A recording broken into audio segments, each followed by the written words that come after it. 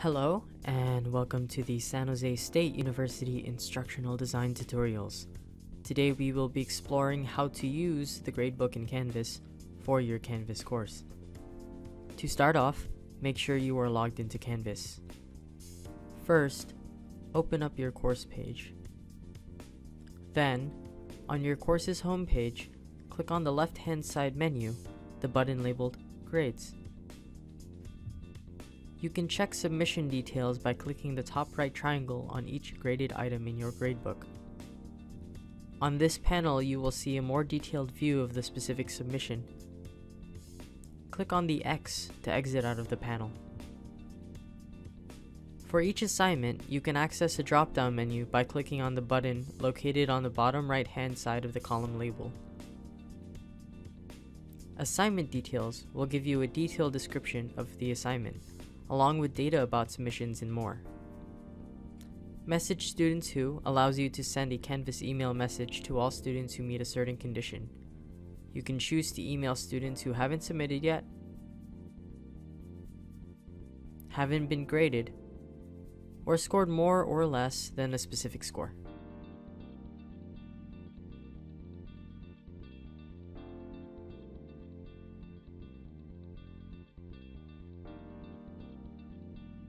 Set default grade lets you assign a grade to all students for a specific assignment.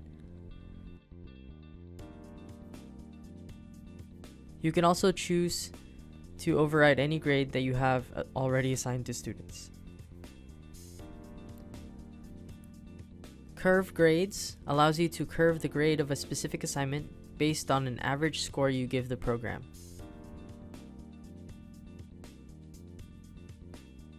Be aware, this action is not reversible and while you can see grades before the curve, you will have to manually regrade or change the scores of the assignment if you wish to revert the curve.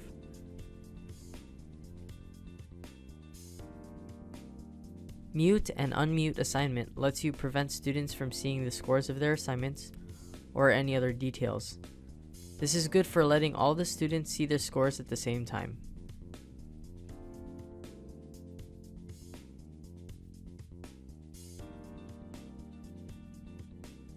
SpeedGrader will be covered in another video. Link will be in the description below. Click on the bottom left corner of the column to sort the grades by that specific column. On the top right of the page, there is a drop-down labeled with a gear icon. Click on this. Gradebook History allows you to see all of the grade changes or grade assignments that have been made. You can filter by student, grader, assignment name, or start and end dates. Return to grades.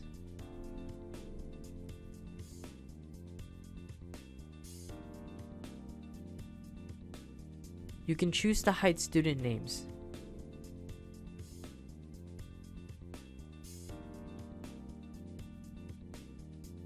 You can change the column arrangement by points, due dates,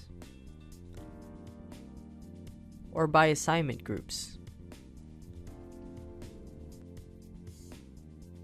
You can automatically set all ungraded assignments to 0 points.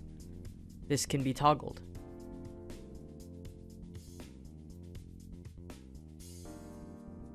You can also toggle showing students who have already taken the class or are inactive by selecting Show Concluded Enrollments and Show Inactive Enrollments, respectively.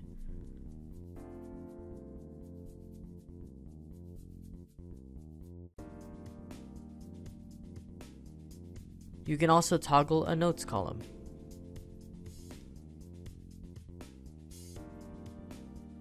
You can export the gradebook as a CSV file, which can be opened in spreadsheet software such as Excel or Google Sheets.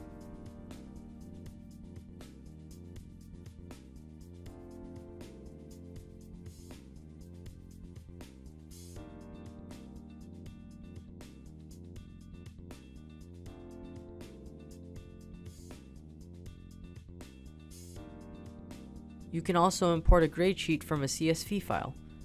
The link to CSV specific formatting rules is listed in the description below.